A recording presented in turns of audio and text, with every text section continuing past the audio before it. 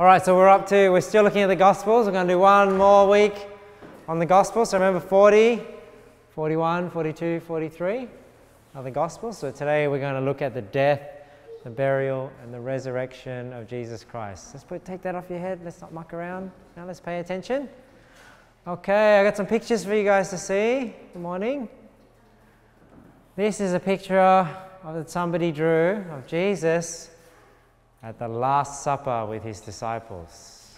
Do you know what the Last Supper was? This is the last dinner that Jesus had with his closest 12 disciples. And he's, uh, this is where, at the Last Supper, this is where we learned to break bread. You know, sometimes as, as church we break bread together and we partake of the cup. At the Last Supper is when Jesus started that ordinance for us to remember his death, his broken body, and his shed blood. So he was doing that with his disciples at the Last Supper and asking them, hey, do this in remembrance of me. Now, after they ate, do you know what happened? Jesus got up from the table and he went to go wash his disciples' feet. Isn't that amazing that the God of the universe in flesh would wash your feet? Isn't your feet pretty stinky? Have you ever smelled your feet before? Some people chew their toenails. Ugh, it's yucky. but, you know, Sarah, don't, don't point, please. But you know what? Jesus, to show how he was humble and that he served his disciples, he got off, he got a basin of water. Shh, no talking, please. No talking, please. Got a basin of water, and he washed his disciples' feet. You know what happened when he got to Simon Peter? Simon Peter said to Jesus, Lord, you, will never wash my feet. Right? Because he recognized who Jesus was. But you know what Jesus said to him?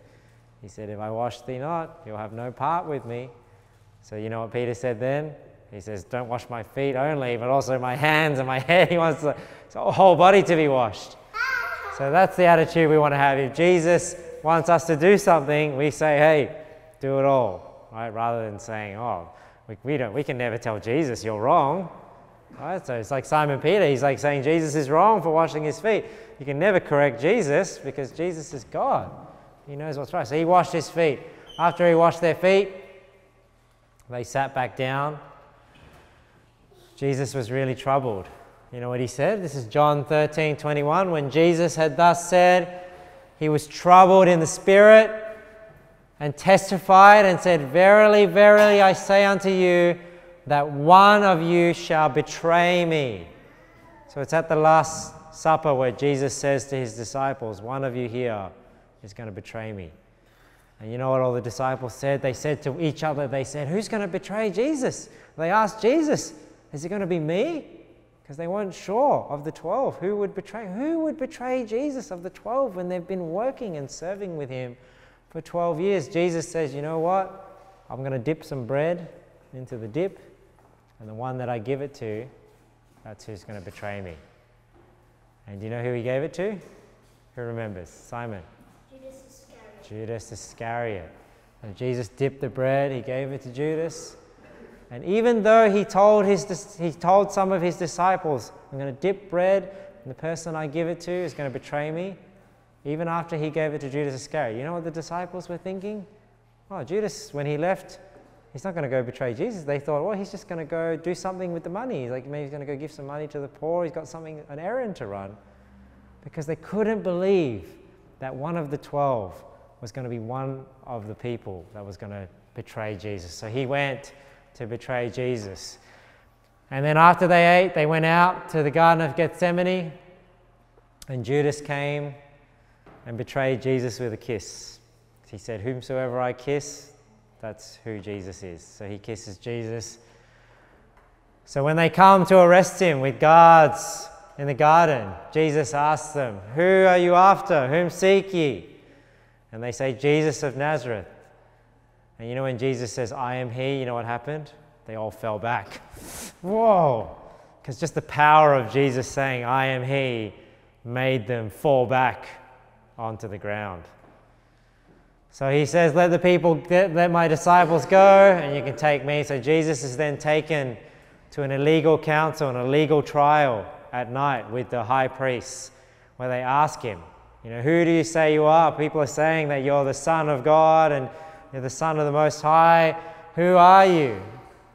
And at this trial, Jesus eventually openly says to them, You're right.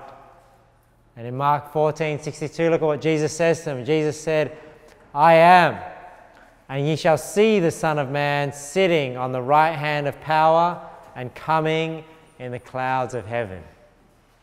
This is when he says to them, You know what? I am the Son of God. And you know what? How they reacted? You know how they responded? You think they were happy about that? No, they said, Blasphemy. How can somebody, as a man, claim to be the Son of God, making himself equal with God? So they were angry that Jesus, you know, some of them hit him on the face. And this is what's happening illegally, right? At night time, they're having this trial. So then Jesus is taken away by the Jews to Pontius Pilate because now that they've said that he's committed blasphemy, they want Jesus dead. But they can't kill Jesus themselves because they're not in authority. So they take Jesus over to Pontius Pilate to hopefully convince Pontius Pilate to kill Jesus. So Jesus stands before Pontius Pilate, and Pontius Pilate questions him and asks him things to find out what did this man do wrong that all these people want to kill him. So he brings them out to the people and says in John 19 4, Look, Pilate therefore went forth again right, to the people and saith unto them, Behold, I bring him forth to you that ye may know that I find no fault in him. What is he saying? I'm bringing Jesus out to you to show you I don't see that he's done anything wrong. Right? Because Jesus was sinless, he didn't do anything wrong. And you know how the Jews responded? They just said they want him crucified. Crucify him, right? Because they didn't want him as their king. And this is what happened. So then Pilate, Pontius Pilate, in order to satisfy the people, even though he found nothing wrong with Jesus, had Jesus whipped and beaten and crucified. So they whipped him, you can see the Roman soldiers here whipping him, beat him. And then they put a crown of thorns on his head in mockery of him being the king. A crown of thorns on his head. You know what thorns are? They're like really sharp into his skull. And they made him carry a cross all the way to the hill of Golgotha in order to be crucified. And when they got to Golgotha, this is the picture I always show you guys. This is what happened. They put Jesus on a cross where he was left to die. And he was crucified between two thieves, you remember? Because the scripture said he was numbered with the transgressors. One of the thieves ended up getting saved, and the other didn't. Now in Mark 15 39, when they crucified him, it says, And when the centurion which stood over against him saw that he had so cried out and gave up the ghost, he said, Truly this man was the Son of God. So those that crucified him after Jesus died, a lot of miracles happened at that moment.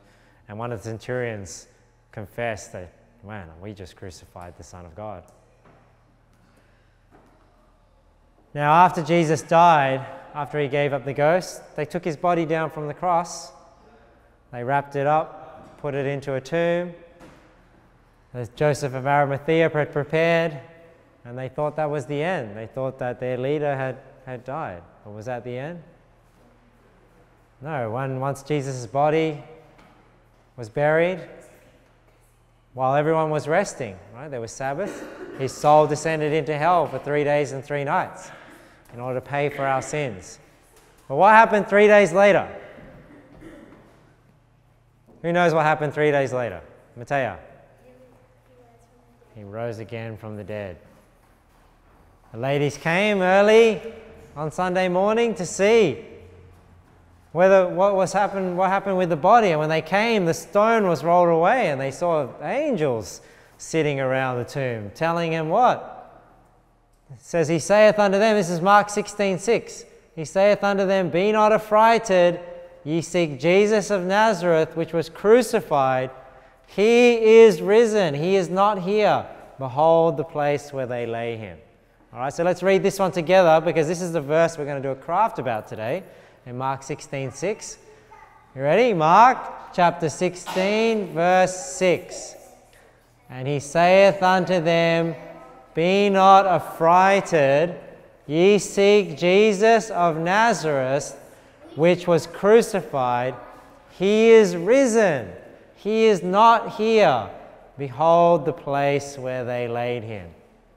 And even Mary Magdalene had an encounter with Jesus after he rose again from the dead. He appeared to his disciples. First to Mary Magdalene, and then to his other disciples. They couldn't believe that he had risen from the dead. And you remember last week we talked about doubting Thomas, didn't he? Because he, Thomas wasn't there when the, he first appeared to his disciples. And Thomas said, Hey, unless I see the print in his hands or the hole in his side, I won't believe. And Jesus said, Be not faithless, but believing. And then at the day of Pentecost, that's when Jesus ascended back up to heaven. Now, Jesus left us with a mission when he ascended up to heaven. What was it? In Mark 16 15, he said unto them, Go ye into all the world and preach the gospel to every creature. So that's what we are tasked to do on this earth. The last thing that Jesus said to his disciples is go and preach the good news. The good news that Jesus had died, was buried, and rose again for our sins. That's what he wants us to go and preach. So that's our mission on earth while we're here. I hope you learned a little something more about Jesus this morning. We're going to have we have a craft prepared for you guys. So I'll just get Elizabeth to bring up what we're going to do today. just wait, Theone, not yet. Just sit down. I'll just show you first what we're doing and then we'll go to the back. Getting a bit ahead of me. So today we've got a little craft where we're going to make the empty tomb.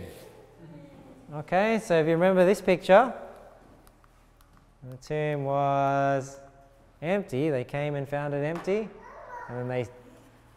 So we have the three crosses of the two thieves, one with Jesus. So we're going to put this together. You guys can decorate it from a bit. And this is the stone. Remember that was rolled away? And we look for Jesus inside. No, he's gone. Why? Because he's risen again from the dead. He is risen. He is not here. Mark 16 6. Okay, so we're going to make this today. So let's all stand up. We'll go to the back of the room and we can all make one of these.